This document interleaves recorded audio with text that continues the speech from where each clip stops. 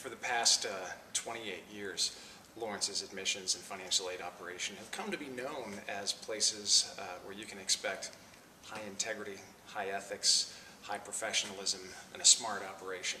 Uh, and even though there has been a change at the top, uh, I'm only a few days into the job myself, uh, I know that people should still expect to uh, get that from the Lawrence Admission and Financial Aid operation. This is a place where our goal has always been and will continue to be that people walk away from their experiences with our operation feeling as if nobody has treated them better, regardless of the outcome. Even if they decide to go to another place, we want them to know that Lawrence is a, is a place that's really going to take good care of them because that's what happens once they enroll here as students.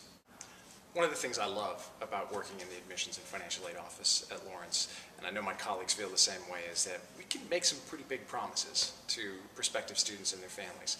And we're confident that the institution is going to deliver on those promises. That's something that people in my position don't always get to do, uh, but uh, we definitely do at Lawrence.